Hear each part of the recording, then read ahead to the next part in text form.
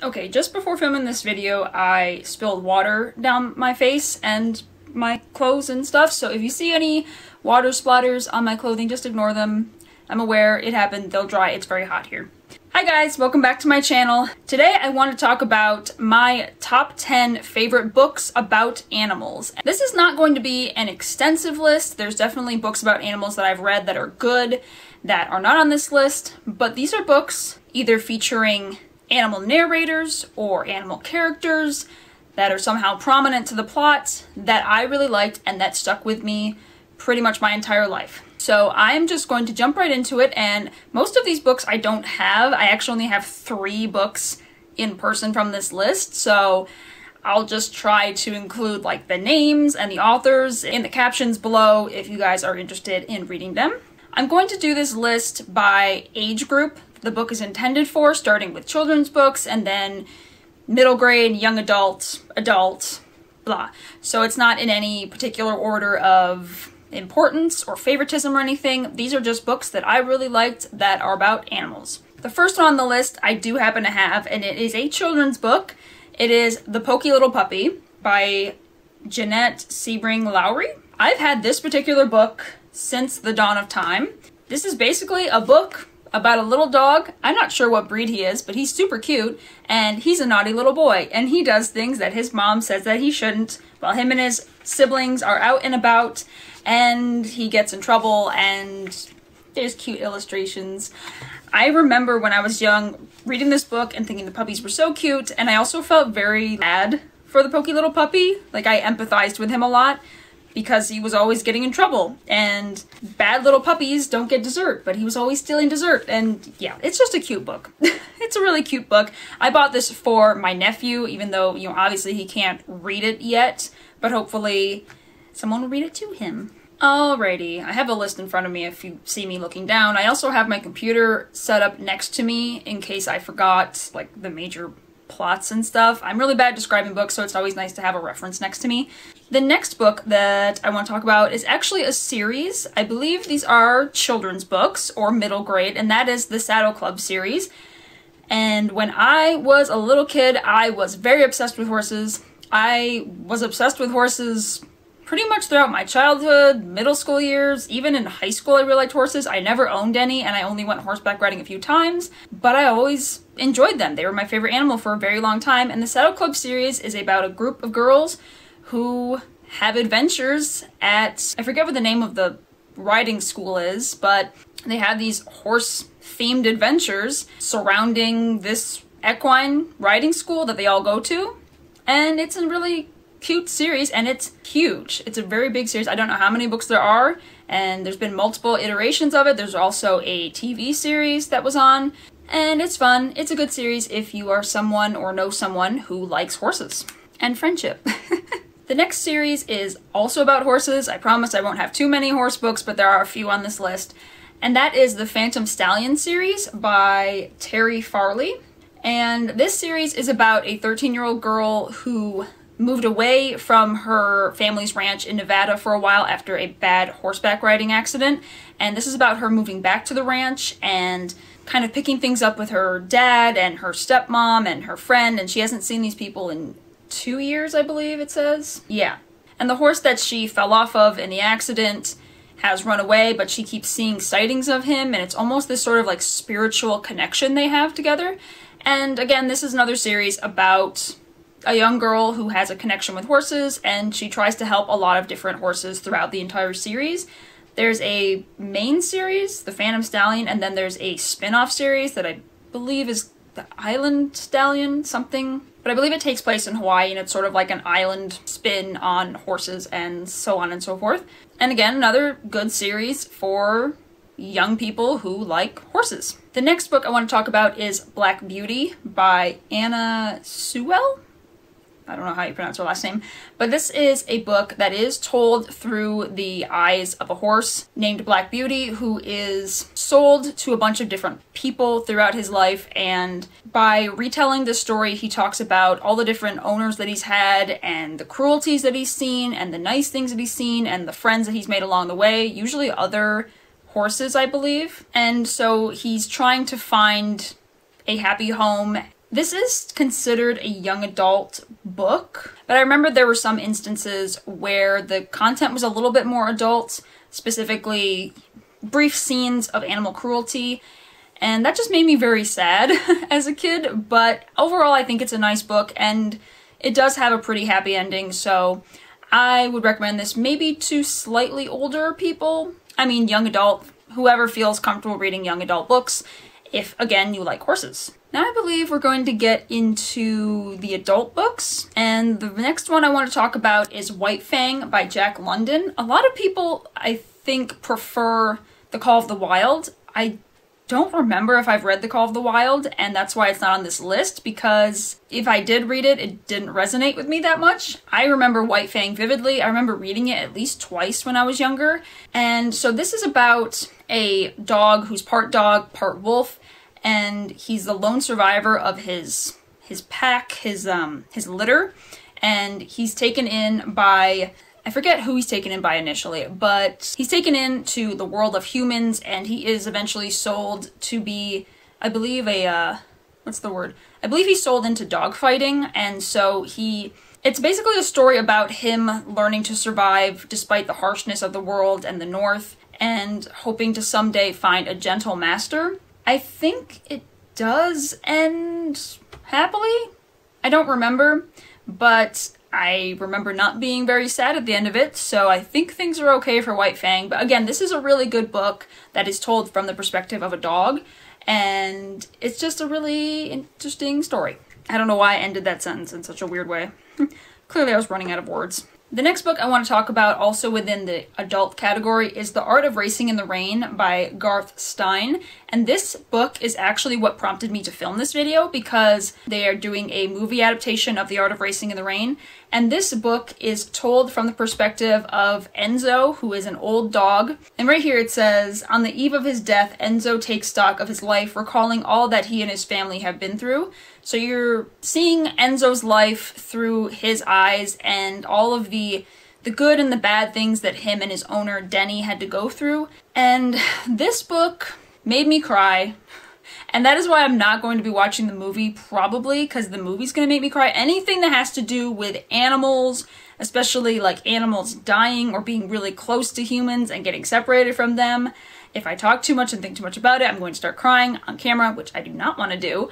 But this book really did make me sad. It was very heart-wrenching, a very touching story, and there are times when you're just kind of like, you're almost frustrated for Enzo because he is a very smart dog. They consider him, uh, they call him a philosopher with a nearly human soul, and he thinks that he's going to be reincarnated as a human when he dies. Oh my god, the concept is gonna make me cry. I can't talk about this too long, but this was a really good book. It's really good, and there's a lot more stuff that goes into it than just what I'm talking about, but if you like animals and you want a nice story, and if you think you might want to watch the movie, definitely read the book first, because it's good. It's very good. It's a very good boy. Okay. The next one I want to talk about is a bit more of a serious book, and that is Animal Farm by George Orwell. I read this book in school, and this is one of those few. I mean, there were plenty of books that I was assigned in English class in high school and middle school that I did like, but this is one that really stuck with me. And of course, there are political implications behind this book, but it is funny to see, I think it's communism specifically talked about through the eyes of animals. And so the book itself is about a bunch of overworked, mistreated farm animals who take over their the humans' farm, the humans that they're uh, owned by. I don't know why I couldn't think of that word. When they take over, they realize that they still should establish leadership of some sort so that the farm chores and living requirements, lifestyle requirements still get accomplished.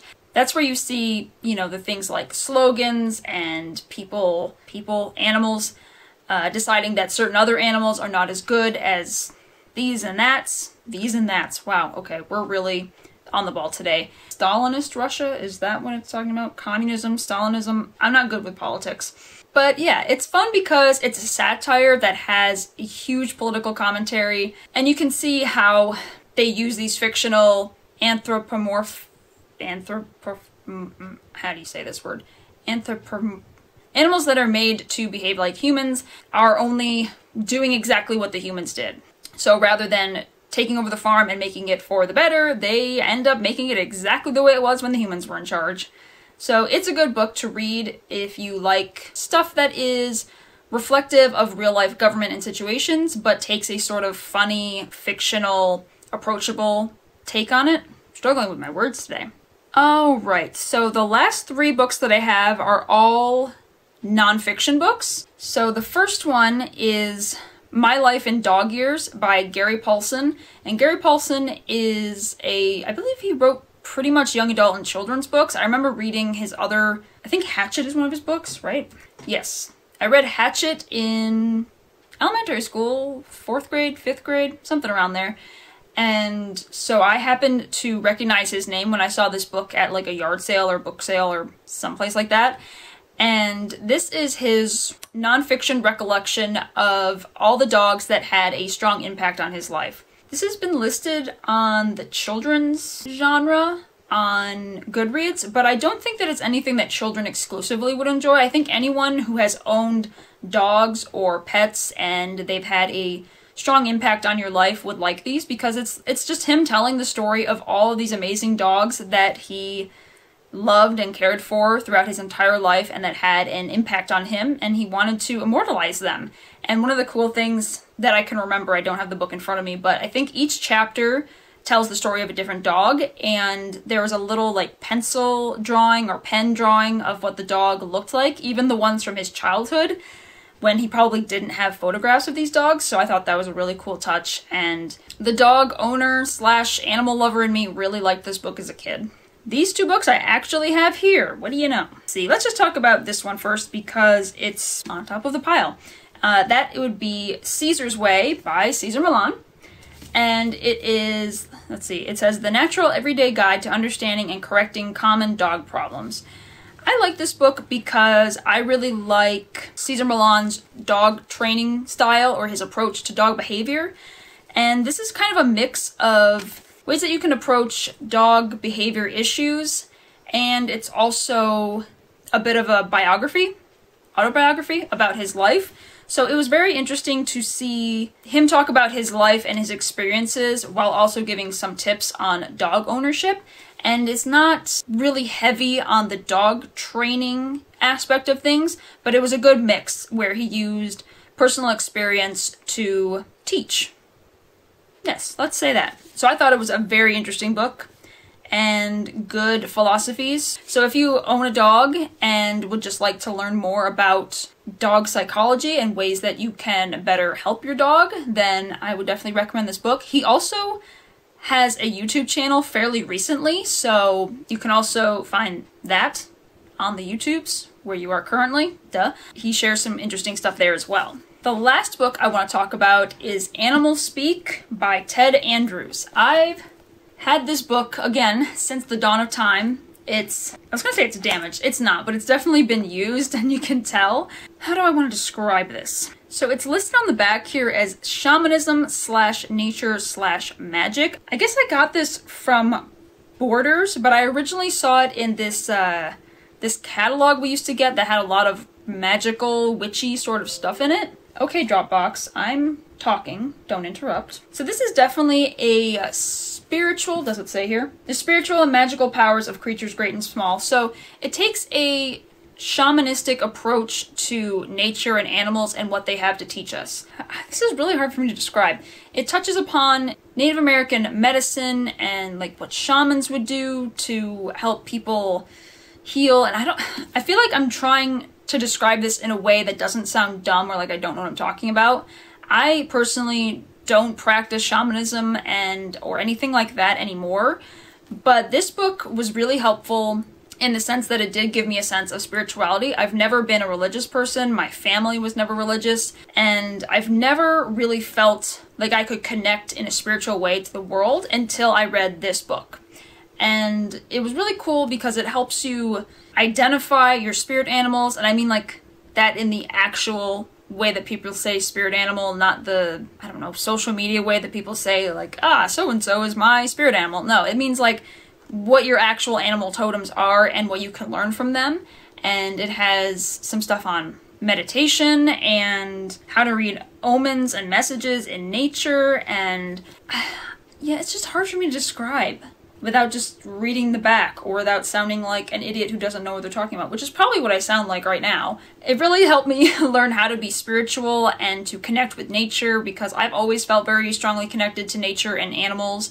And so it really helped me tune that, or I guess fine tune that in a way that helped me, that helped me feel relaxed and in tune with myself. This is a spiritual type book. It's very interesting and at the very least, even if you don't really connect with the spiritual side of things, it does talk a lot about interesting stuff about nature and animals. So if that kind of stuff appeals to you, then I recommend this book.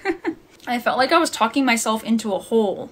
I always feel weird when I don't know how to describe what a book is about, especially a nonfiction self-help kind of book. So I hope that made some sense to you guys. So that is my top 10 books about animals. I know there are definitely some books not on this list that I really liked growing up, but I didn't want to have a really long, extensive list, and these were ones that really came to mind when I first thought about filming this video. So if you read any of these books, tell me which one was your favorite, and if there are any books about animals that you like that weren't on this list, then comment them below with your recommendations, because I would definitely read more books about animals, whether that's a nonfiction book, that's somehow related to animals or a fiction book that has animal protagonists. I love that stuff.